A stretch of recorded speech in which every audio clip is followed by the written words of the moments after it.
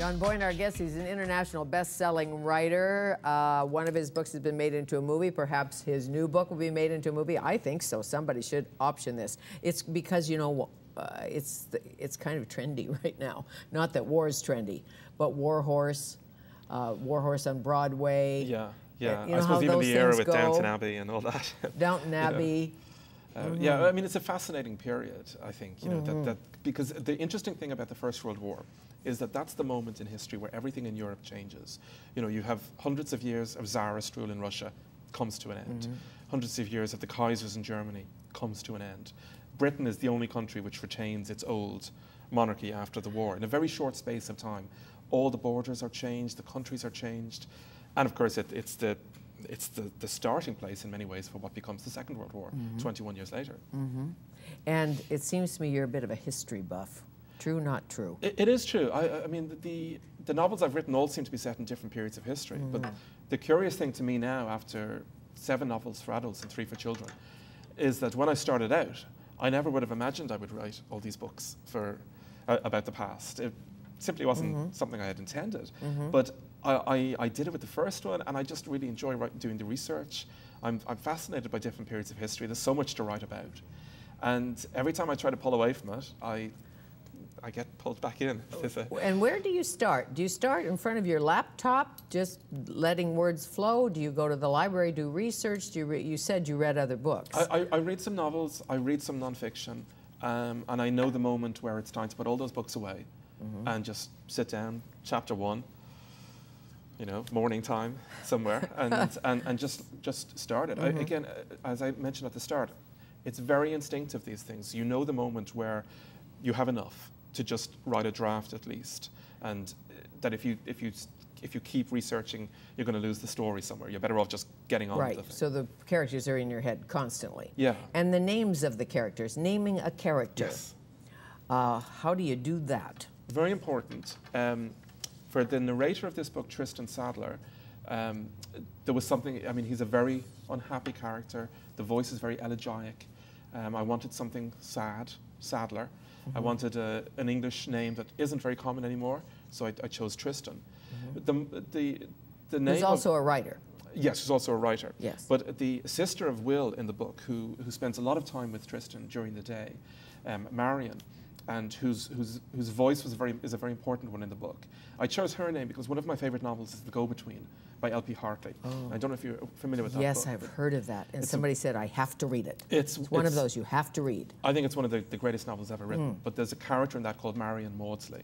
And she's a very bright, intelligent young woman at a time where women were not expected to be bright and intelligent. Mm -hmm. and we were, but not but expected yes, we're to not, be. not given the voice. exactly. And I love that book, and that was one of the books where the language of that book was going to influence the language of my novel. Mm. So I chose Marion really as a mm -hmm. homage to, or a rip-off. Right, a rip-off. of, of but kind of a kismet, really, for you. Yeah, yeah, but, but it's, you know, you can't just, there's nothing in a novel which is throwaway in that sense. Whether it's choosing the characters' names, the time, the place, where they're going to be mm -hmm. sitting, what they're going to be talking about. Everything mm -hmm. matters in some way.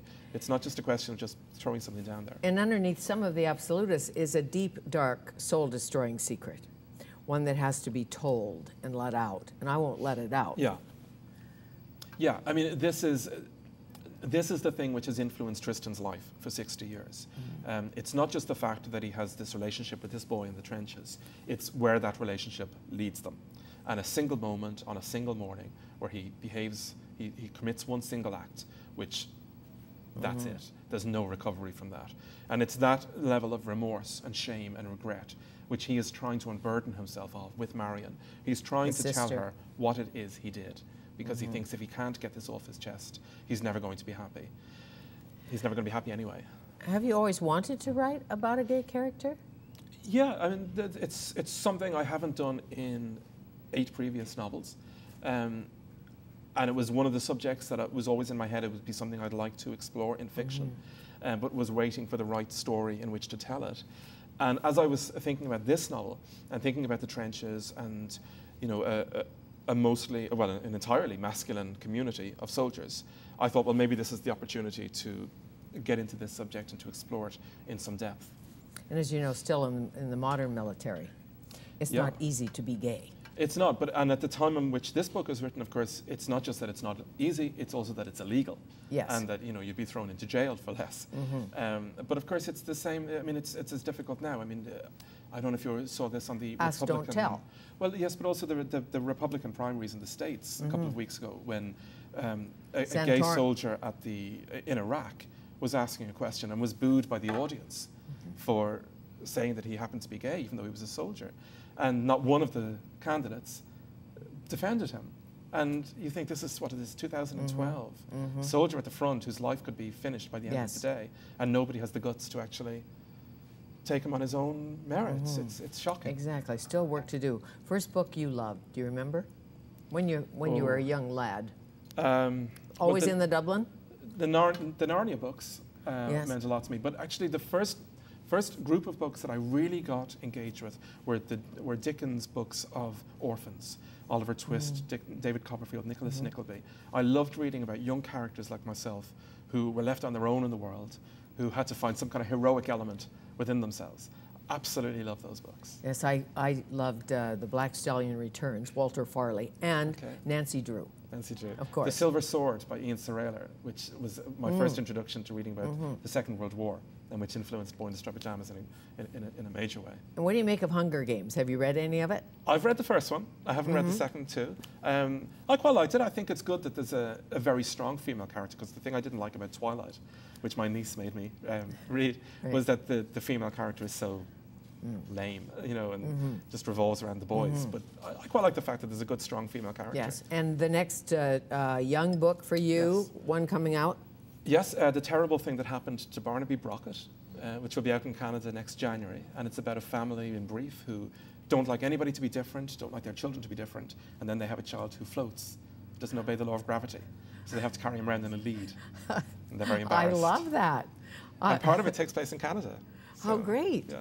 Because they used to have us on leashes before you were born, I'm sure. Our parents put little harnesses on us Oh, and walked us down the street. And if you were like uh, a, a busy child, they'd hook you to the clothesline Well, in the actually, backyard. and you're going like back still. and forth in the clothesline in your little harness, like the dog. I see parents walking with a, with, a, with a lead with children now because you know they're afraid the child will get lost. or Exactly. something. Or run over Yes. or something like that. Perfectly acceptable. How nice to meet you. And you. And you've read John Irving's new one? I've read it. It's brilliant. It's Great to be a his friend, isn't it? Yeah. What's it called? It's called In, In One Person. Coming up. Thank you. Vancouver International Writers Fest brings John Boyne here tonight, 7:30 p.m. Vancouver Public Library with The Absolutist.